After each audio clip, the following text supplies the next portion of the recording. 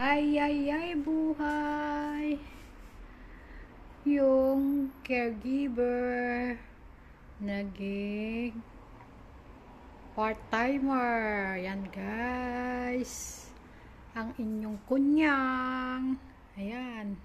Nagpa-part-time ako dito. Tignan nyo itsura ng aking lalinisan. Na grabe. Konting tiis-tiis lang. Ayan.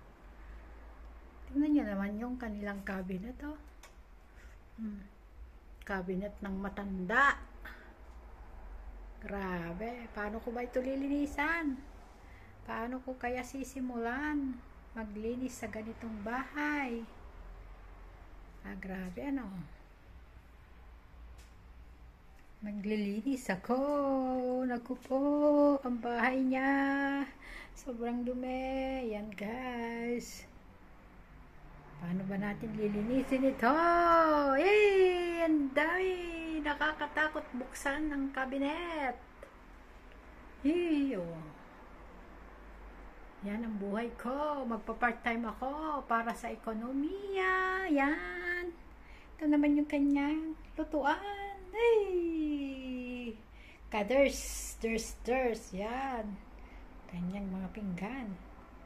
Saan ka pa, di ba?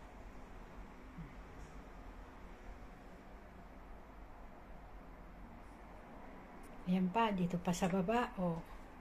Ko pa nasisimulan dyan, sa baba. O.